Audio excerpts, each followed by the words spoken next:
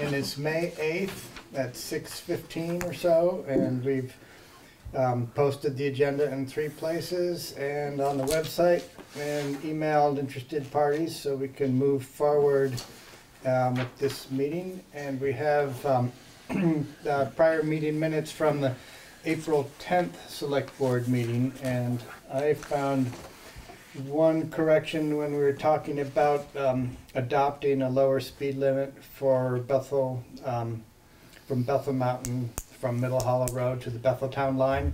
Um, We didn't adopt it then, we're gonna, we were just progressing to warn the- and start the process towards adopting it. So I'd make that one modification, but, um, and I didn't see any I other wasn't here for corrections. that meeting. I, I didn't either. All right, so I'd move to approve those minutes.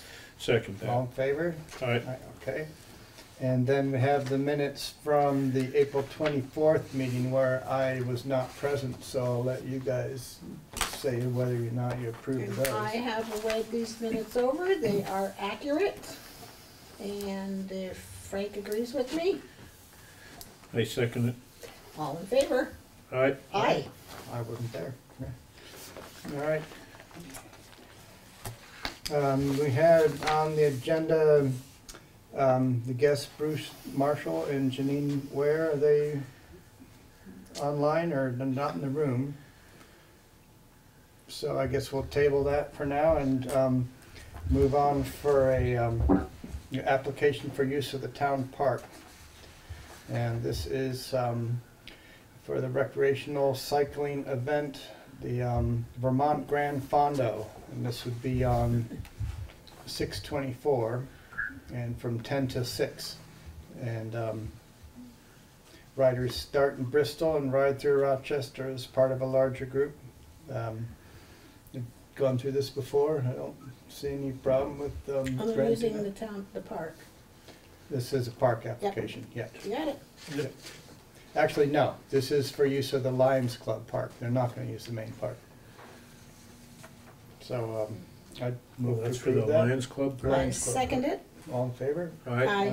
All right.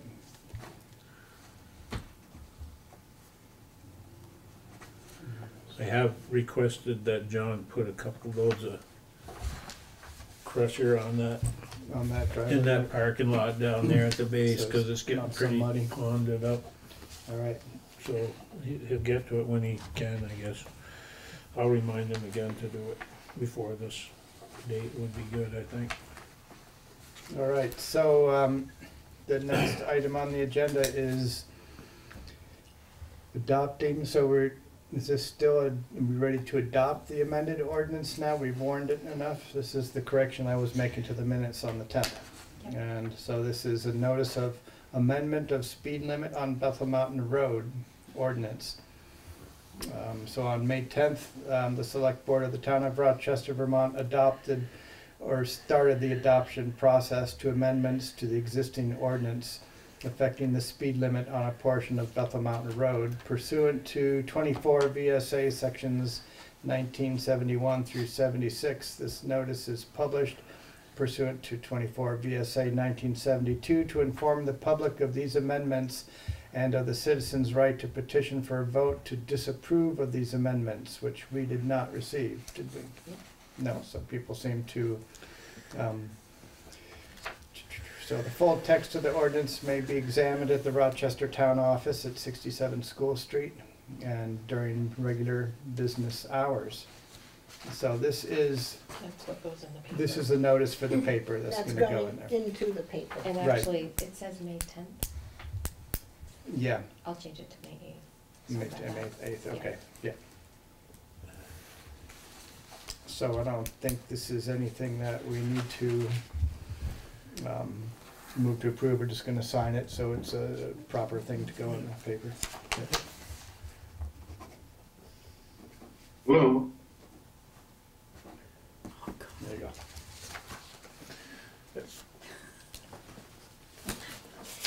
go. may I ask you a question? Who's this, Robert? Yeah, how are you doing? Good, good.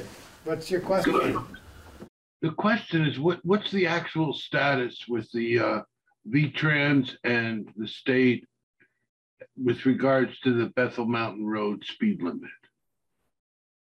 Like we, you guys just put forth, forth, That's, um, it's, there, that's a, a town determined speed limit, so the V-Trans is, their, so their status is, it's not their, not their road. Well, that's what I was trying to put forth to Frank Severie and you guys and Mr. Bump. That's exactly what, uh, Therese and Bethel experienced. All of a sudden, it's not their jurisdiction. Do you know, there- there- I have to, I have to just share this with everyone. There are people that ride bicycles that exceed the fifty mile an hour speed limit on Bethel Mountain Road. So, uh, you might want to think about that. But I, I, I did, I shared this in the last meeting regarding uh, changing, reducing speed limits in the state of Vermont is a, a, a big task. Yes, that's the process that we're, we're, um. We're in step two in- in the- now. We're on step two of that now, that the notice is going into the paper, so we're, we're aware of the, um, the, the process and, and Making doing our it way through properly, yeah. So, uh, with regards to Frank's concern about it, is there any, are there any minutes that he can share that, uh, with, uh, conversations regarding, uh, V-Trans, Mr. Bump and the state and the town regarding what's actually going to happen? Because I don't think the speed limit will be reduced by law. Uh, in the conversations we've had with Chris Bump, or I've had with Chris Bump, is we have to go through the process. We did a traffic study on a year ago, and we go through the regional planning commission on the process of lowering it, which is just basically, we do the traffic study, they accept the traffic study as being done. And putting, changing the speed limit on a road does not guarantee that people are gonna drive that speed limit. It just guarantees that that is the limit posted. So that if there's law enforcement and somebody's going sixty miles an hour in a forty, they'll get a ticket. This was done to, um, help with possibly alle- alleviating some of the truck traffic that goes there. And that's the reason why we're doing this. Our car's gonna drive forty miles an hour? Probably not, but that's not something that we can control. Every driver has the right to drive whatever speed they wanna go, they're gonna do it. There is a limit on what the law says they can do. We control the speed limit there, but there are ways that we have to go about getting it changed. It used to be forty miles an hour years ago, and they upped it to fifty because some, somebody complained that they wanted to commute to Randolph and they wanted to drive fifty. And so they allowed it to happen in the past, but we're doing it so that, to try to help alleviate some of the truck traffic that goes over that mountain. And that's why we're doing it. Will cars drive it? I doubt it. You know, that was something we talked about, and Chris Bump and I talked about that too, so. You know, we're, we're just doing it, so hopefully the GPS people will put it in their, in their information where it may deter trucks from going over there. And that's really why we're doing it. Well, Frank, I totally respect what you just shared because uh, uh, all my neighbors along the Bethel Mountain Road, uh, uh, the McIntyres, all of the, they're, you know, it's, it, it, it's, the intention is great, but I don't understand how uh, Dune mentioned that the uh, reduction of speed limit uh, has been from what I understood or gleaned, is that the state has nothing to do with it. Is that my, is that correct or not? On the class two road, we have jurisdiction over it, but there's a process we have to follow in order to do what we're doing. We have to justify it for one, and the, and the real justification is our neighbor in Bethel, they have a forty posted speed limit, and it's a conti- continual road, so we feel that the forty is a limit there, and all the powers that be agreed with us, so that's why we're looking at it that way. Well, no, that's a very logical uh, conversation. And by the way, I don't want to hold up the rest of the meeting. Uh, Dune might have to get home to dinner, but um, it's just, it's a discussion. Be- Frank, The, uh, my stomach grumbling, can you hear that from on the, the owl? But, um, Mine is. yeah, I don't think it's proper for a select board member to sit back and laugh about con- uh, serious concern about a town. And um, I, I, I'm gonna just say, good- I'm just gonna say good evening. You say that to Okay. you, you don't Okay, vote, good night. so, good Good night, night. thank you. Good. Okay, um, where was I? Um, we have an uh, application for a second-class liquor license for Sandy's Seasons Books and Bakery LLC. So I'd move to approve that. Now, second? All in favor? Aye. Okay. This is, um, that, didn't have to sign. And we have a bunch of applications for liquor licenses tonight. Number seven is the same for the Village Grocery and Liquor Incorporated, which I believe is the new owners of the Max Market. So that's good news to everybody. That is That was a news. pretty quick Public transition information. from a closing store to an opening store. Mhm. So Yep. I'd gladly move to approve that. I gladly second it. All in favor? Aye. Okay. Indeed. Yeah, yeah, and I think they're gonna, um, try and turn that around, um, They paid pretty it. quick, Yeah. yeah, Pretty shortly, right? yeah. Great. Okay, and we also have, um, approval for a second class, this is a Yeah, tobacco tobacco license for the license. village grocery and liquor. Second? So, All in favor? Aye. Aye, okay.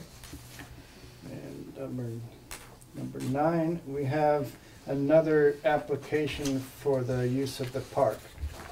And this is for a, a library program for children about climate change. Appropriate to do it outside, and Maya Newt is doing that, and that would be on the twentieth of this month, May, um, from nine to eleven.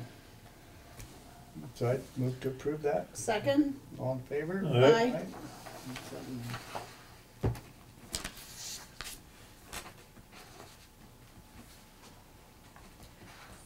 These were on the agenda, but the state has extended um, licensing for liquor licenses right now that are trying to process everything through because of the, they're doing it all on portal now.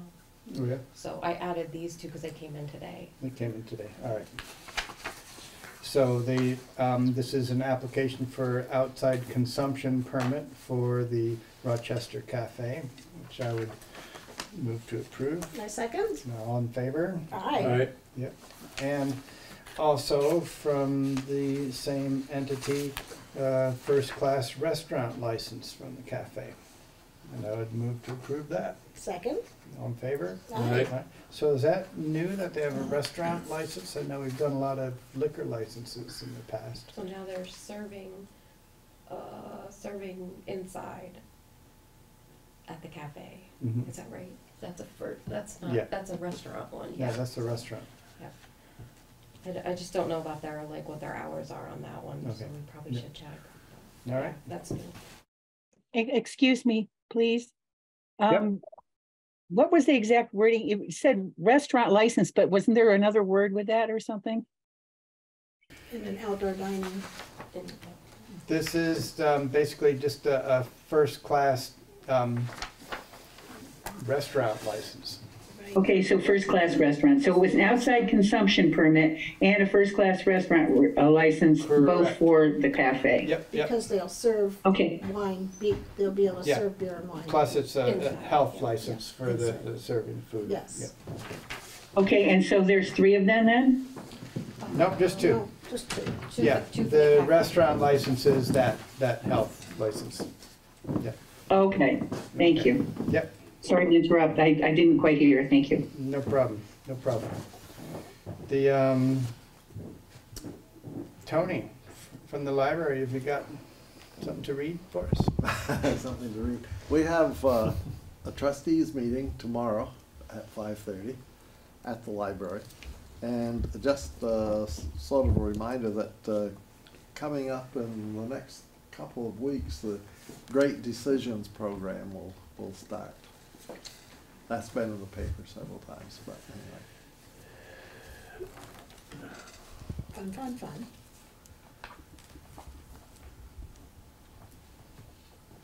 All right. Yep, thank you. Um, Frank, you got anything, um, you wanna share from the highway? Uh, not too much. Saw I Uh, had a street sweeper zooming around town today. Yep, we had Things the, up.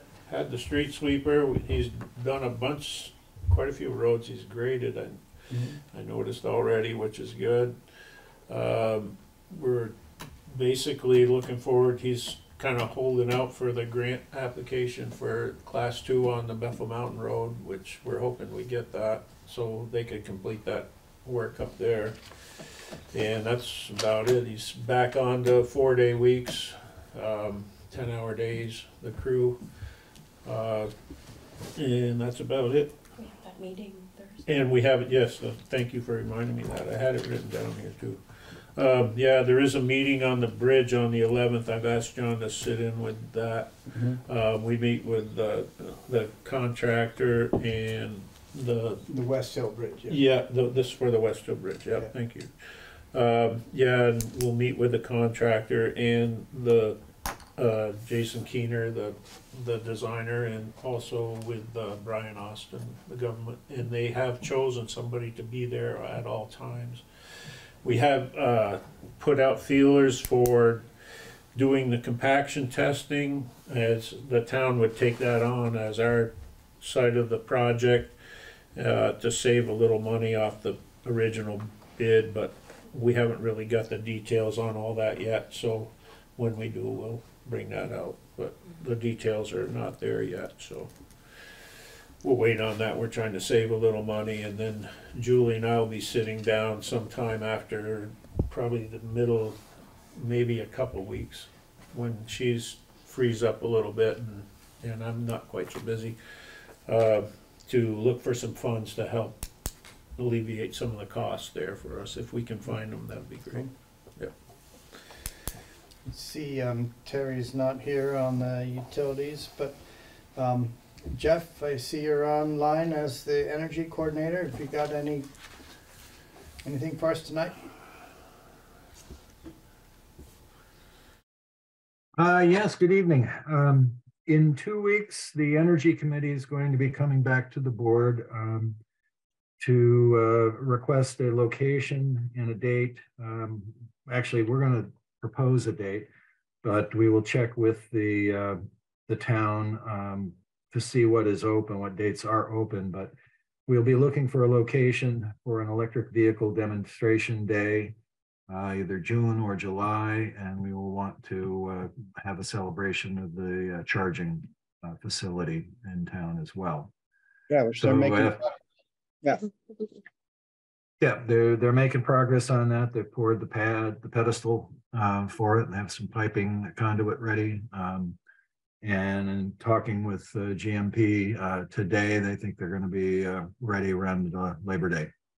Um, so we'd like a little bit of time after that, and um, you know, ideally the park would be uh, most visible location. Um, we could probably also do something at the old ball field too. But I'll look at conflicts and dates, and we'll come back with uh, a specific request on that. Um, with the library, um, I think we really need to push back um, to with historical preservation so that uh, we can do the, the repair job properly. Um, I know I burdened you all with a very long email, um, venting my frustrations with that issue, but um, getting a working weather resistant barrier on the building is the only way to to uh, take care of it long term. Um, and then uh, the other thing that I bring up to the board is that the uh, Energy Committee is going to collaborate or is collaborating with Randolph and with Bethel on what's called window dressers.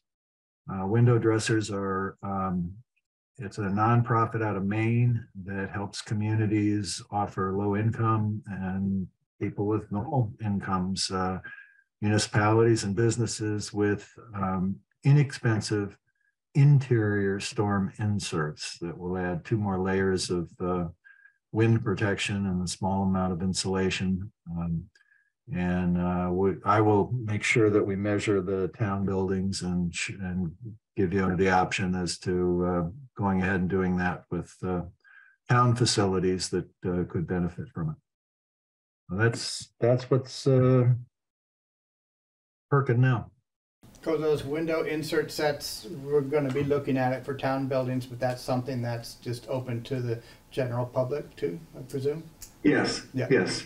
We are going to try to recruit people in through the five towns of the Route one hundred Valley um, here. Uh, we will be talking to all of the um, municipalities uh, and also uh, working through the food shelf to get to folks that uh, have needs there um, with uh, uh, low income um, installations, they can be done for free, provided that someone, either the recipient or someone for the recipient helps in the volunteer side of things with the actual build.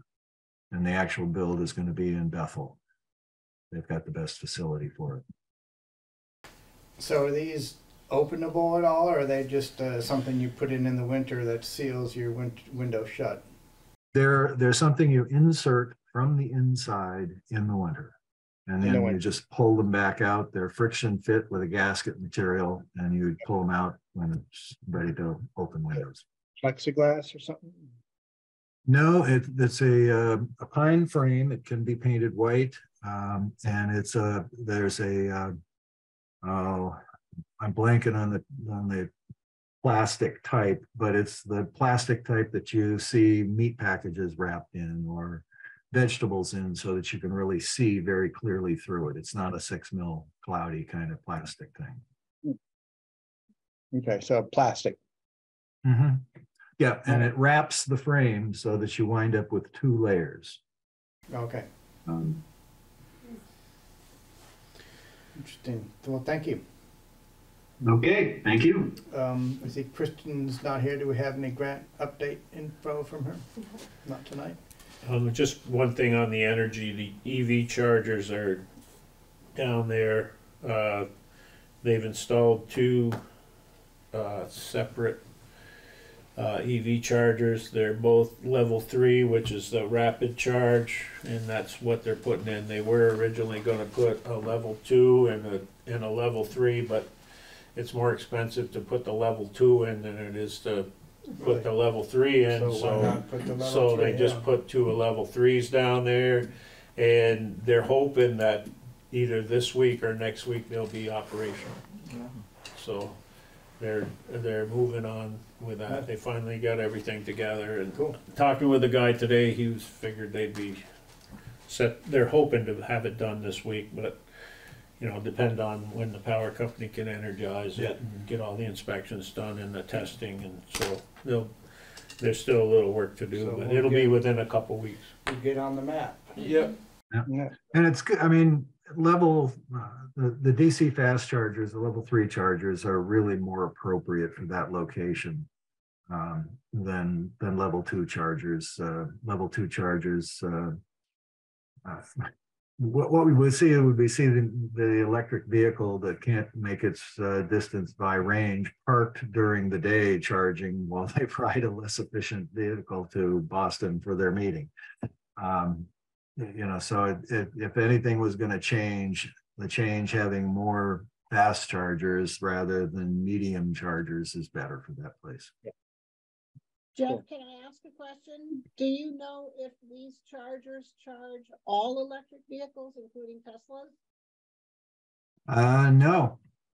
No, um, I suspect that they are going to, um, have a, a CCS charging.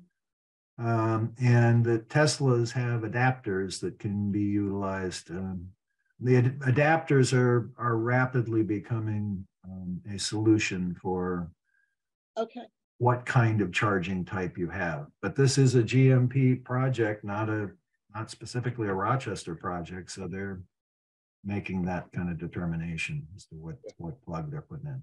Um, excuse me, could I ask you a question, Jeff?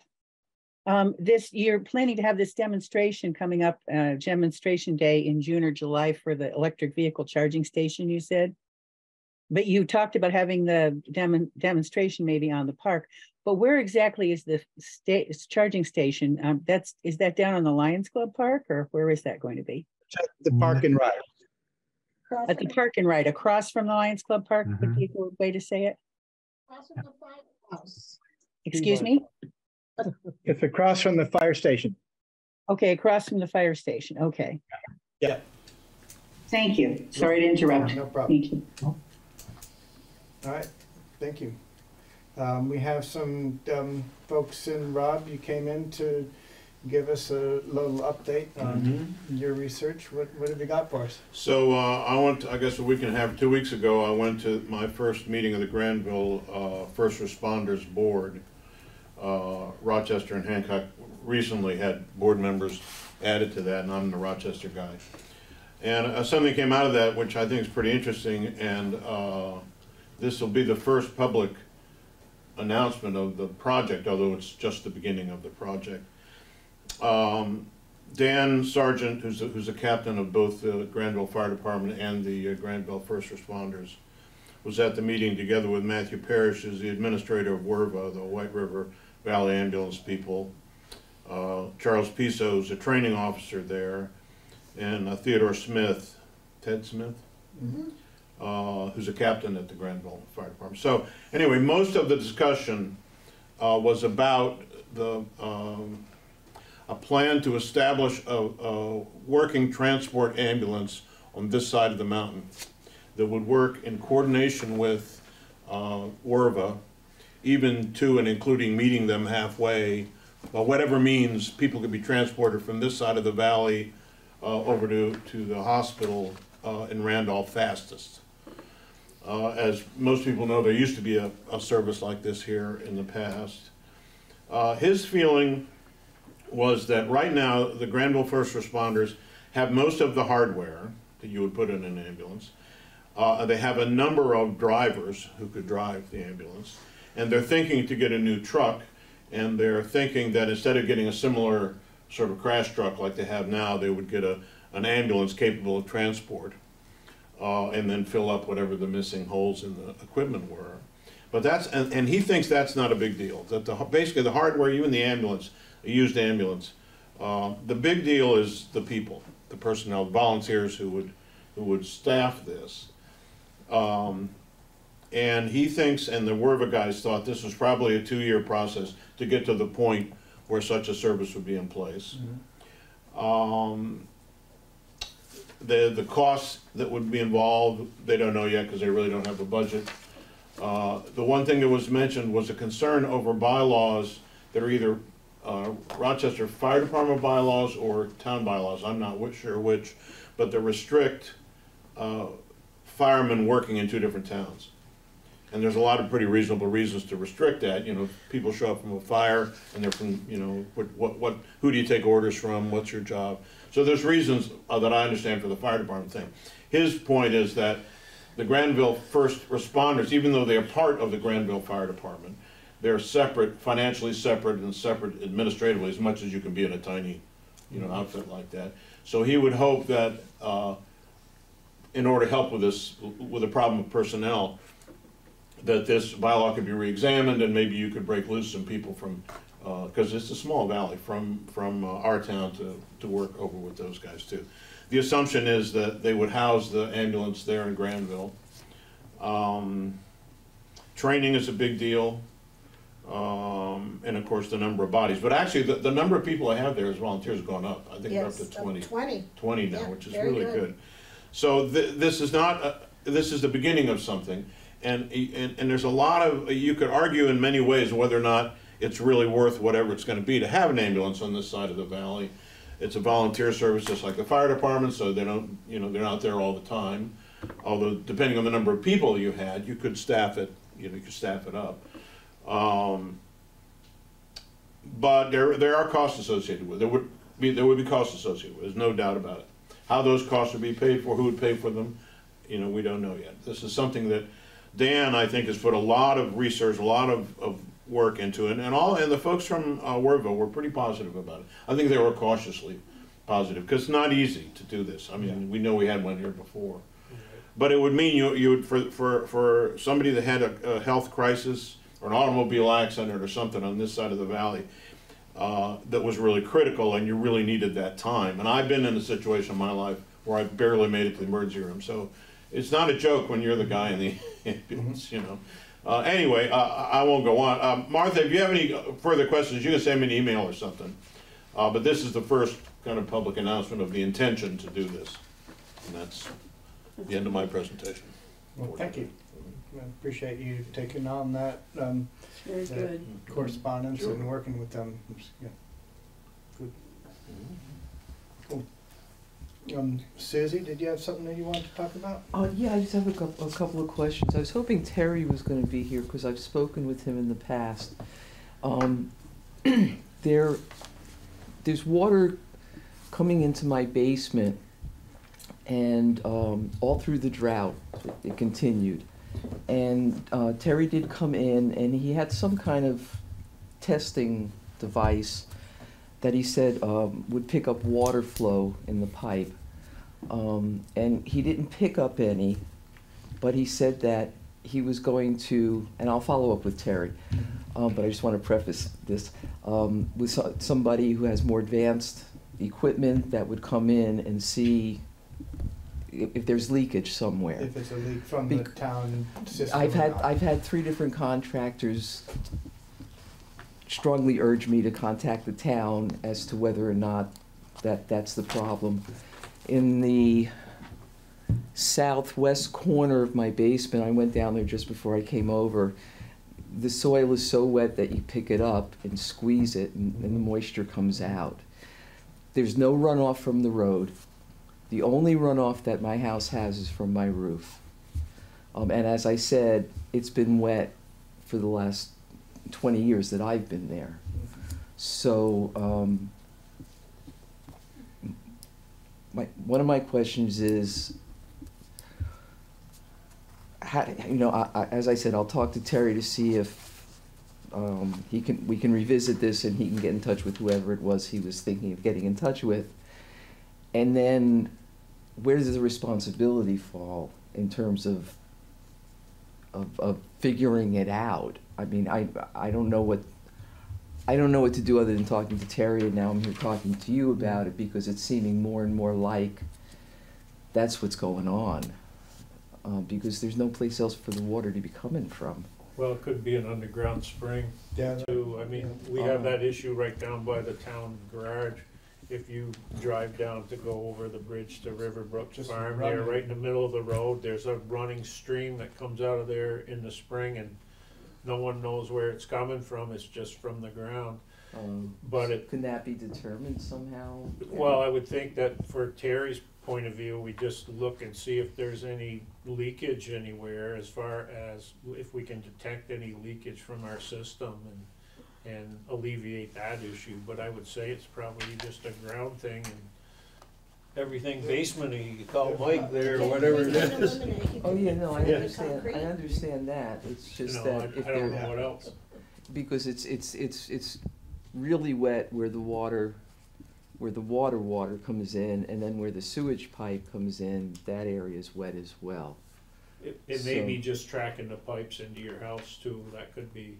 Or the You know, water runs along the y- y- pipes. Yeah, it would flow, follow the pipe because it's just a natural occurrence that it would have a channel, would make a channel where your pipe is. Okay, That's a, that's a normal thing, but if there's leakage there, they should be able to detect that. Yeah, if it has the, the people with the more sophisticated equipment Yeah. to, to Right. hear, they can hear. Eliminate, leak. eliminate it or Water. diagnose it.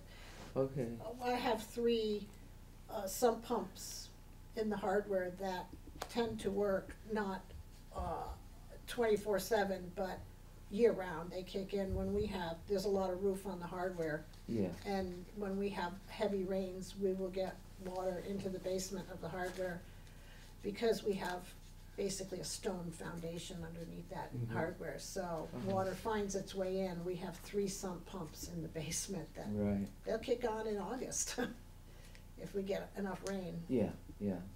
Okay, so, so just get back in touch with Terry and he can, he can Yeah. just do whatever needs to be done and he'll communicate with you guys or, Yeah, w- we can follow up with that too. I mean, we can Okay. talk to Terry about it, see where he stands, and, okay.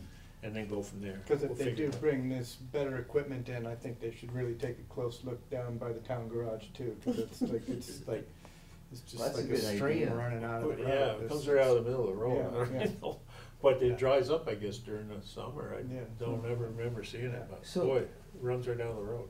So my, my la- last question is, is that where the, where the water, the main water pipe comes in from the road into the basement, Mhm. it's like a cave kind of thing, like there's no wall there? Um, was that the builder, the original builders, or when the water ca- when the water comes in, who does So that? The is it- homeowner or the town, or should I concrete that closed? I mean, Is it a, is stone foundation or is it you poured concrete? it's in that? concrete, It's the whole concrete. foundation's concrete. Yeah, so that, they would probably made a little wooden form over where those lines are gonna come in, and then over time, that wood might have rotted away, you know, to, to, to leave an opening to, to put the pipes, you know. But it shouldn't be a big opening. It's a big opening. It's a big opening, I don't know, I mean, is it, is, but it's concrete that's fallen away? I believe so. I mean, I don't know if there was anything there ever because Yeah. I, I wasn't Terry can around. elaborate on that. Yeah, yeah. Terry So, can, Terry can serious. diagnose that. okay, all right. All right, I mean, yeah, I'm just trying to gather information Yeah, as had to yeah. We'll move ahead. support him taking a look at it. Yeah, again, okay. I'll track him down. Thank you. I'm really curious though if your kitty's still outside waiting for you. I hope, I hope That's so. so cute. All right, um, I'm you glad you got got anyone back. online that has anything they'd like to talk about tonight? No? Just the other thing, we have the park, uh, trees. We did acquire that grant for, uh, five thousand with a matching side of it for another five, so making it a ten thousand dollar enterprise for us. We, uh, Nancy, Lois, and myself took a trip to Monkton to look at the trees, and we purchased six trees with the grant. Um, they're all, uh, two and a half to three inches in diameter. I don't, do you have the, the type of trees they are? Do you? Um, One's there a four sycamore, I varieties of remember. Maple, a sycamore and a hornbeam. A hornbeam, okay. And, and they'll, will be wanting to put those in the ground within a couple of weeks. Um, I'd like to do it by the end of next week, uh, before they get solidly leaved out. Uh, it's recommended that we do that.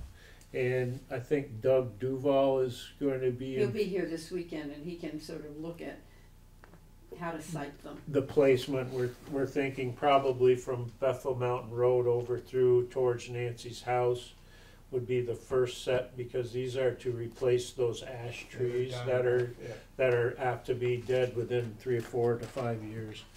So, um, these were recommended by the, the arborist up The there owner of the, the owner of the nursery. estab- the nursery, which is a wholesale outlet, it's not, they're not open to retail, but, um, this is really an interesting little trip we took there, and great. so we'll be looking for volunteers with some machinery and try to get the holes dug and, and the trees planted, and then after that, we'd like to, before the end of the month, before Memorial Day, uh, we would like to, uh, uh, put mulch around all the other trees that are on the Mm. park. We've, uh, arranged to get the purchase of, of whatever yardage of material we need, but we'll be looking to get some volunteers together to just you know, come up for a day and do some shoveling, and we'll get a few people with equipment that can run the mulch back and forth and just, you know, spruce it up a little bit to keep the mowers away from the base of the trees and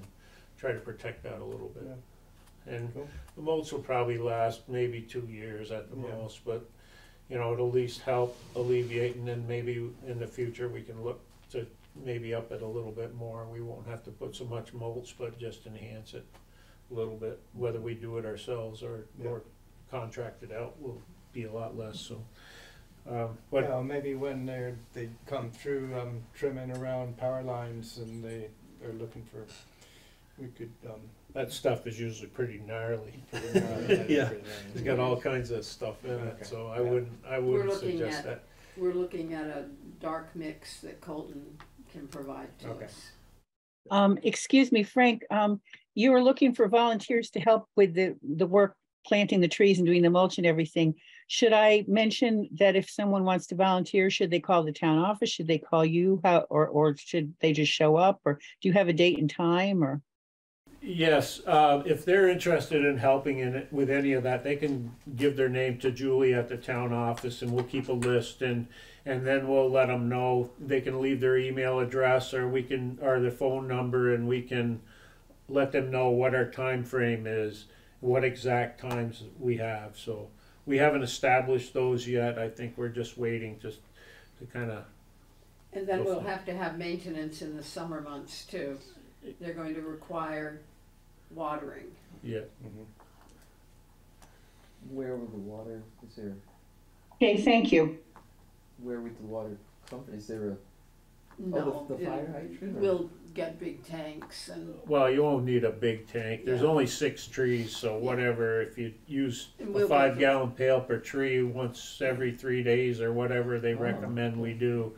I've got a little sixty-five gallon tank that I use for my sap in the spring and you, it can be used Yeah. for this during the summer and it can go in a little trailer and Oh, we can go right out and, and hitch it on a lawnmower and then just Mhm. feed it that way, That's exciting. so. Are, are you gonna leave the ash trees or have them? They're, we're gonna see how they survive. I mean, there, there's no telling that they'll actually die, we don't know.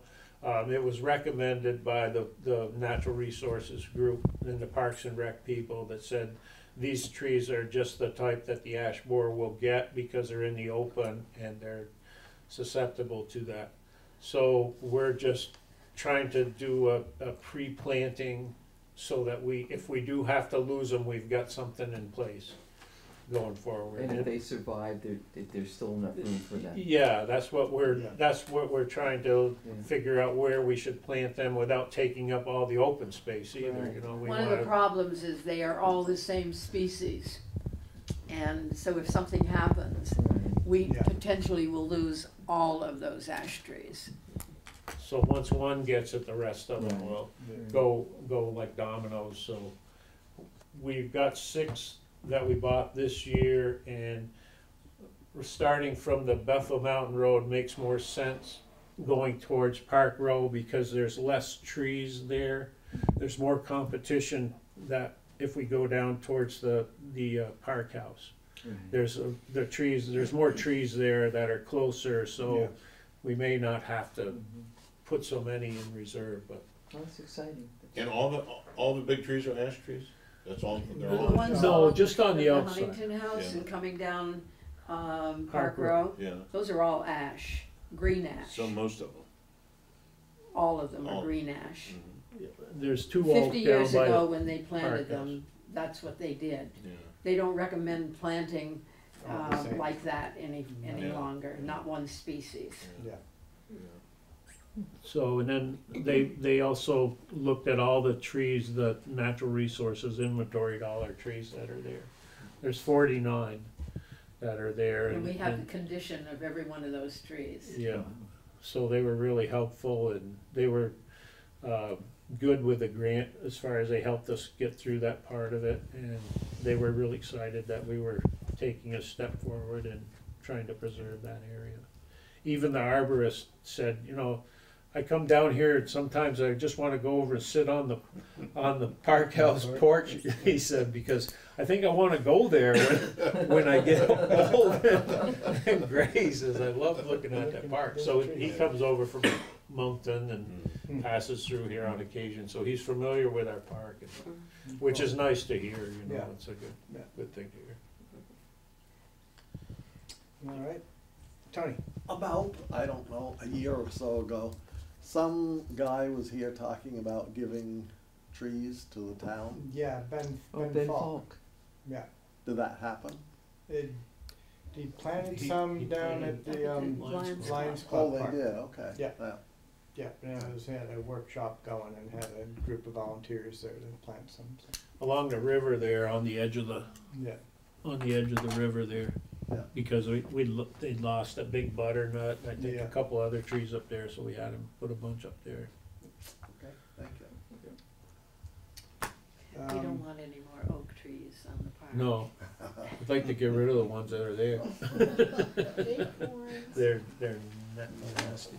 All right, um, if no one has anything else they'd like to talk about, I'd move to adjourn. I second. All in favor? Aye. Right, Thank you all. All right. thank you. Thank you. Yep. Thank you.